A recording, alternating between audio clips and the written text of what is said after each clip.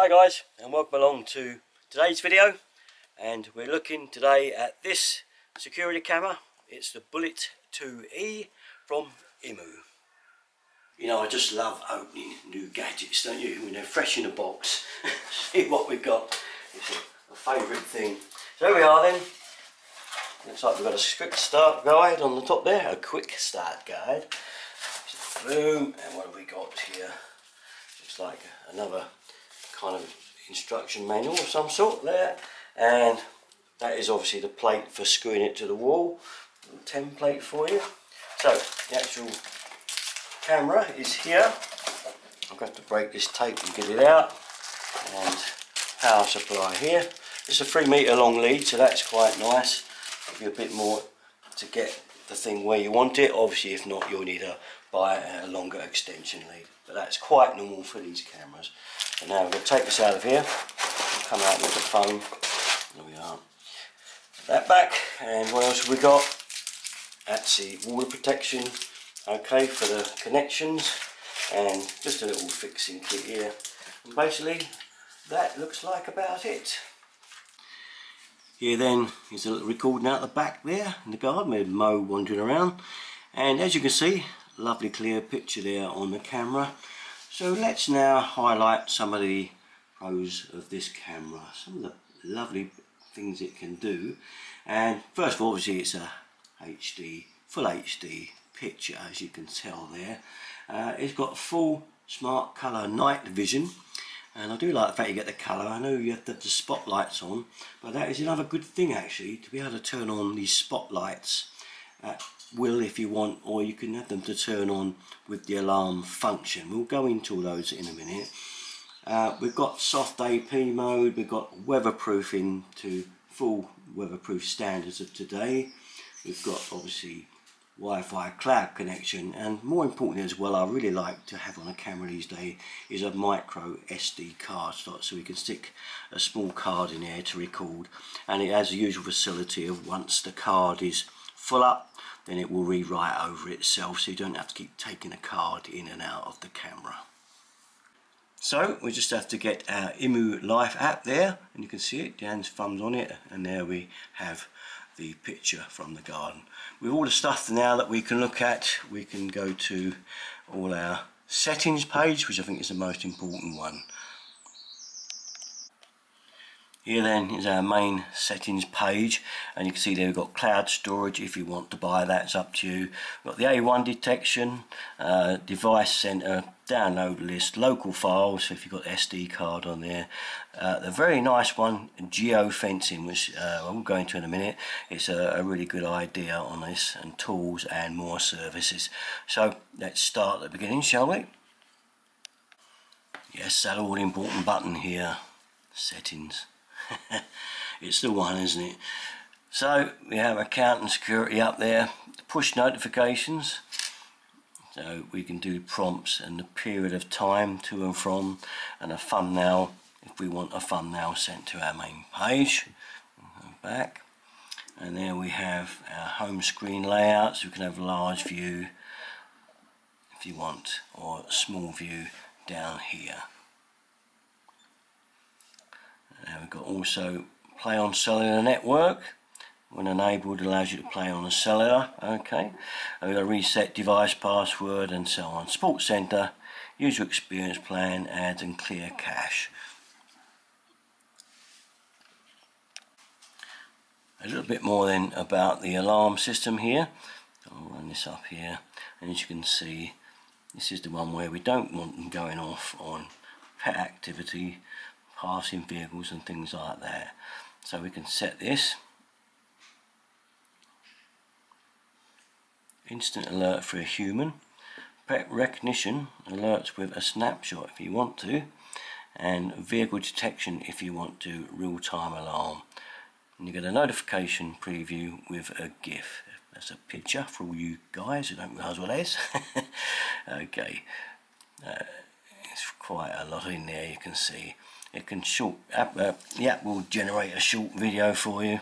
Okay so if you need um, any videos of what may have happened you'll get a short ones. Okay and there's all the applications the human detection as we go down the list there you can see we've got cloud storage which is deactivated I don't want to be paying for that. Uh, but you can if you want to. You've got your local storage which I've got none in there at the moment but if you put a mini SD card in there uh, you will have it. It's at the bottom of the camera. I'll show you what it is later. And I don't know what the local storage rule is. I'll just set up the recording schedule and the video resolution. There we are store video and also high definition or scheduled recording again so I guess that's when you want to schedule and you can get the recording schedule done. I don't want that so let's get that off. High definition of course and you can drop it to standard if you want to. Okay we want. High don't we? I've got great touch screen here I say so. So lovely and unsensitive isn't it? Right back we go so down to the next lot here there's the spotlight there and Optivite on detection. So we can I'll get this wire out of the way it's a bit of a nuisance in it? And the spotlight will now come on when anything is detected by the camera. And go back now. Uh, you can share the device with someone else and the WLAN settings and more. Let's see what more says shall we okay so it's a status LED on it image rotation encryption time zone and date format and restart. Oh by the way this device also works with Alexa if you've got that. So that's quite handy too. And we go to detection now to set up the event types. Let's have a little look in here. Now I've got motion detection on at the moment let's have the human detection. This is the one we're interested in isn't it we've got that on now. Now you've got a detection schedule so you can set up when you would like to be notified of detections there. Uh, we've got motion sensitivity it's an important one isn't it?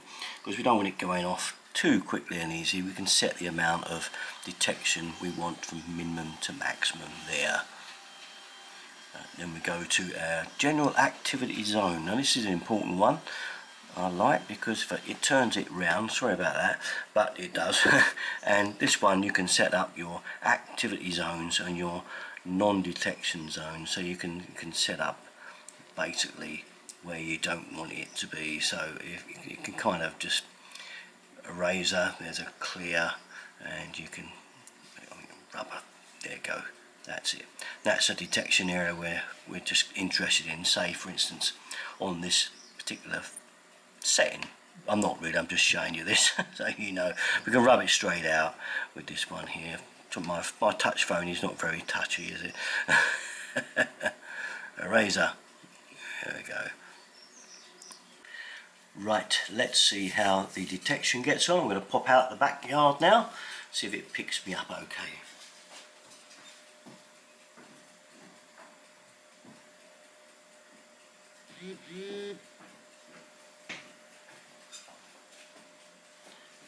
Let's have a look, see if the detections come up. There we are, backyard human detected. And it looks like me. Oh yeah, you can see all the other ones there that have been taken earlier. So you've got a complete kind of snapshot record there of that. One other important device I've got to tell you about here is the geofencing function push that little button and you get this little notification here. Geofencing mainly means that the alarms will not be sent to you if you have set it in place around your property for instance. So if you're at home you obviously don't want to be notified of false alarms but what it does is not inform you when you're at home in a set predetermined area once you leave your home then the alarms are set. So it saves you having alarms going off all the time for false alarms because you're at home. It could be you activating them. But it does mean that once you go off outside the premises and away from your property in the selected area uh, it will automatically arm the alarms for you. So it's quite a nice little device I think. If you leave your phone at home it won't work. So just to fill you in what geofencing is. And still the picture if you'd rather read it and take up too much video time. Here we are then with the colour night vision and you can see just how good that is. You can see it's definitely 30 meters easy with the night detection range. It's really good isn't it? Really good. I'll walk out now see if we can get our detection up.